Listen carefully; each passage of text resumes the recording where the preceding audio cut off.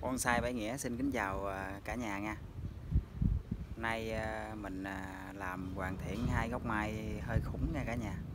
Cho nên mình quay cho cả nhà xem. À, Vâng. À, Mình quay cây nha cả nhà. Đây.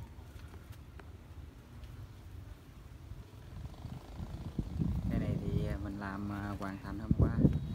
Nhưng hôm nay là giờ này là cắt trưa rồi nha giờ này tới giờ cơm trưa rồi. Nhưng mà mình tranh thủ quay cho cả nhà xem. Xong rồi mới đi ăn cơm. Đó. Cây hoành khủng nha. Phía bên kia có con cây nữa cả nhà. Nhưng mình quay cây cây này cho cả nhà xem trước. Đó. cây này hiện tại thì đi nhôm lần thứ hai nha. Đó hoành quá dữ luôn rồi, cả nhà ơi, chỗ này. Lon keo lớn rồi kìa. Hát biết không? Đó. Cây gắt khủng nè quá trời cái cây luôn rồi. Nhìn gặp cây này là mình thấy là gắt cây nha, cả nhà. Hoành gắt khủng, cây gắt to nói chung là lên trên thì nhánh nó hơi chậm, nhưng mà nói chung là nó cũng đẹp rồi. Lên trên nó có cốt chính, đó, có cốt chính lên. Nó về phần đi dây thì anh anh em đi dây lưu ý nha nó đi dây là phải không trồng chéo nha. Thứ nhất là thể hiện đẳng cấp một người nghệ nhân nó đi dây là điều cơ bản là phải học bước trước tiên, đó. Nhưng cái gì cái làm thì nhớ nè, nhớ đục mặt thẹo lại nha, đó thì về phần mình mình làm là mình nói cái cách mình làm thôi. Nó còn tùy anh em, mỗi người làm mỗi cách. Còn mình làm là hầu như đó, vậy đó. Nhôm là bắt buộc mình đi phải đều. Đó. đi là phải không trộn chéo lên. Dù là một cây ờ, khủng hay hoặc một cây bình thường trong xã hội này. Nhưng nó mình đi nhôm là phải đều để thể hiện một cái đẳng cấp của một người nghệ nhân nha. Đó và thậm chí những anh em đã làm kỹ như vậy thì mình phải tập từ từ thì anh em mới hoàn thiện được. Còn về bản thân, bản nghĩa mình làm thì chỉ vậy thôi. Còn về nó cái nét vẽ thì hầu như mình đi cứ hài hòa thôi.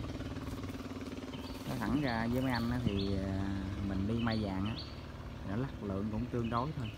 Chứ không phải giống như cây bài cây đi thi đâu nha. Nó nên lưu ý còn thí dụ về cái mai vàng thì thí dụ tết trên quê hương này kia đồ thì chơi bông thì bông đạt ngon lành thì cứ điểm cao thôi. Cây đẹp thì điểm cao thôi.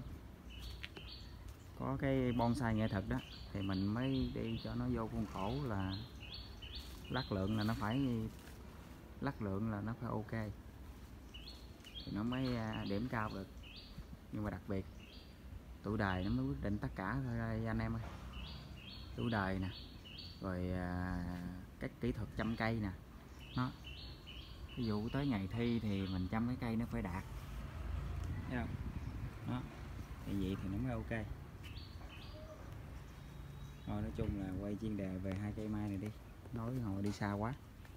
Đó điển hình thì qua mình đã làm lại cái mặt à, chậu này. Thì hôm nay thì chỉ cần mình tưới nước á là nước nó sẽ rút xuống à, tốt nè cả nhà.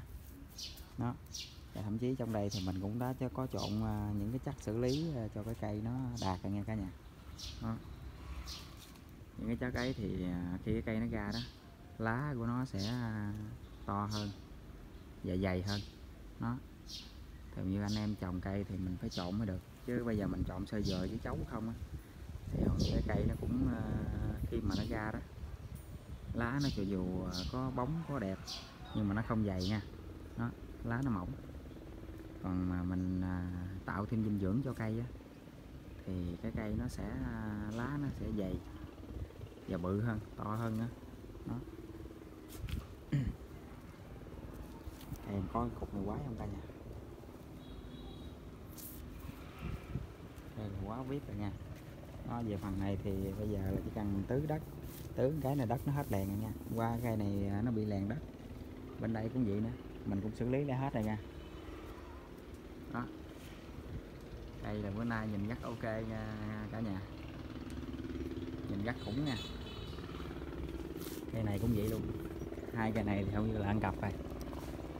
Hoành quá khủng. Thấy không? Cả nhà nhìn thấy ghê chưa?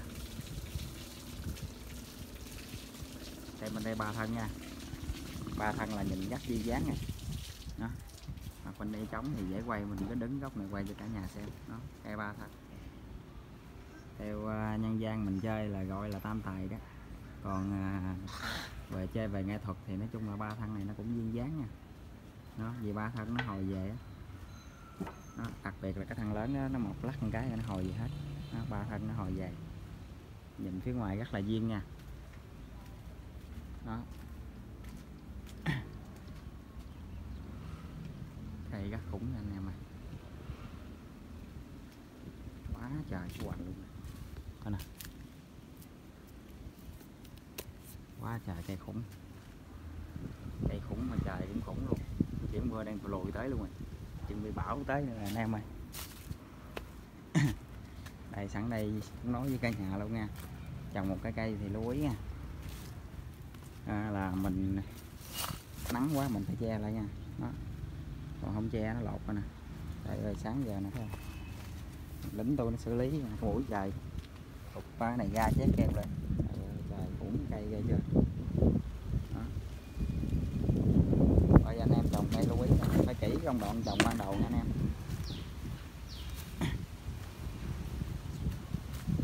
Cây này mình đang làm đây. Cũng rất khủng nè, mới làm được phân nữa à. Nói chung là cũng tới giờ cơm trưa rồi đó. còn nữa chưa làm. Nha à. giờ mình đi, phải đều nha đừng có trồng chéo lên nha. Đó.